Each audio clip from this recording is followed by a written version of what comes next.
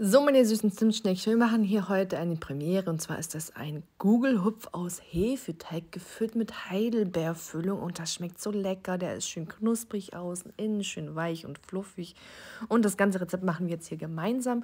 Schaut hier unbedingt oben links, habe ich es euch verlinkt, das Grundrezept zum Hefeteig an. Es gibt verschiedene Varianten, die ihr machen könnt. Ich mache immer den langen 24-Stunden-Hefeteig und das ist die beste Variante für mich. Es gibt noch andere Alternativen. Ihr seht schon, wie fluffig dieser Teig Teig ist nach dem Anrühren und dann kugel ich den zu einer Kugel und dann kommt er ab in die Schüssel und dann ruht er erstmal für 20 Minuten in einer Raumtemperatur. Dann kommt er natürlich abgedeckt in den Kühlschrank für 18 Stunden mindestens und dann nehme ich ihn raus für so eine Stunde. Lass ihn schön warm werden, weil er ist ja natürlich kalt aus dem Kühlschrank.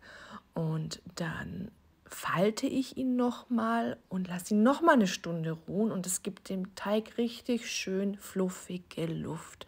Ja, also die Schritte habe ich für mich herausgefunden, sind die besten. Ich mache auch in meinem süßen Hefeteig tatsächlich keinen Zucker deswegen rein, weil die Hefe kann genug arbeiten durch den Milchzucker, durch die Kohlenhydrate im Mehl klappt das alles wunderbar. Aber wie gesagt, schaut euch das Grundrezept an. Ich habe euch verschiedene Varianten aufgeschrieben.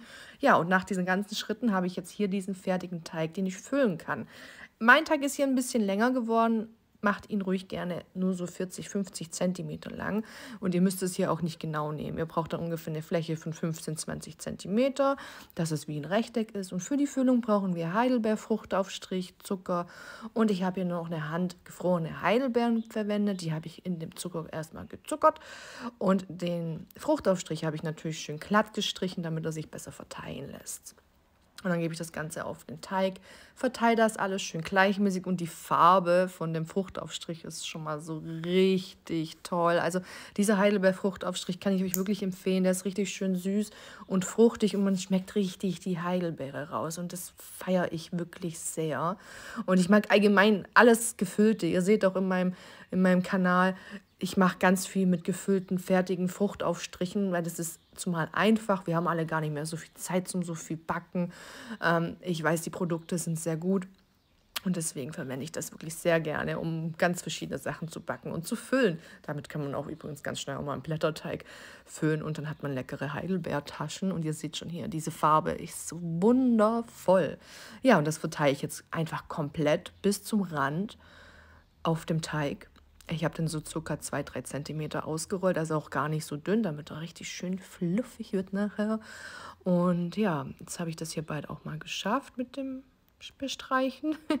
und dann habe ich die Heidelbeeren, das ist so eine Handvoll. Ihr könnt natürlich auch mehr nehmen, wenn ihr mehr Früchte wollt. Das ist absolut individuell, könnt ihr dieses Rezept verwenden und habt dann den restlichen Zucker drauf verteilt, damit es ein Tick süßer wird, weil ja im Teig kein Zucker ist. Muss ich halt eben in der Füllung ein bisschen Zucker reinmachen.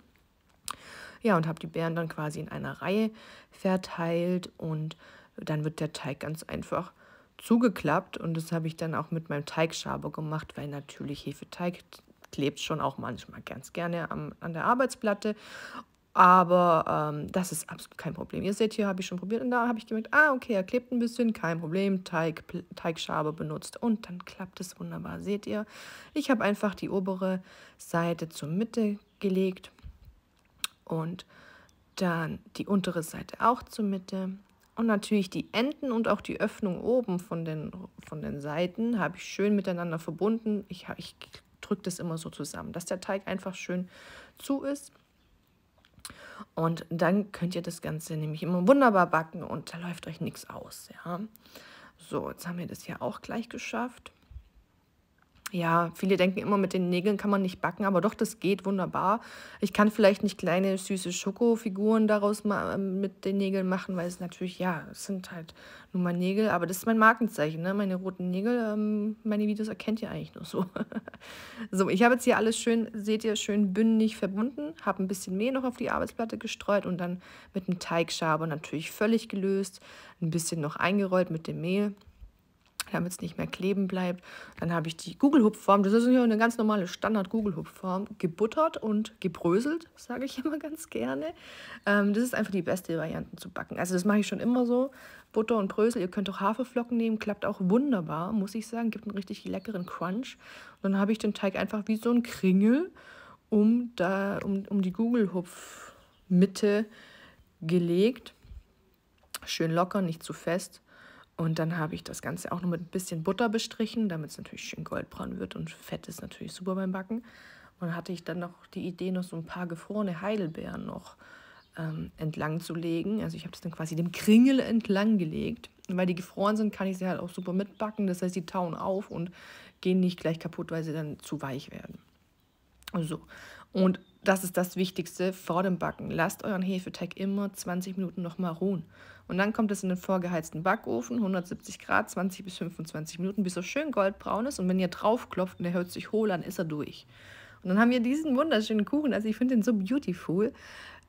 Ist einfach hübsch. Ist einfach so ein Fake-Google-Hupf. Jeder denkt so, oh, das ist ein leckerer Rührkuchen. Aber nee, nee, das ist hier einfach ein Hefeteig. Ein Hefeteig mit leckerer Fruchtfüllung. Ich habe hier dann noch so ein bisschen Maiszucker drauf gestreut. Ihr könnt Puderzucker nehmen. Ich nehme ja fruktosefreie Variante, aber könnt alles normale nehmen.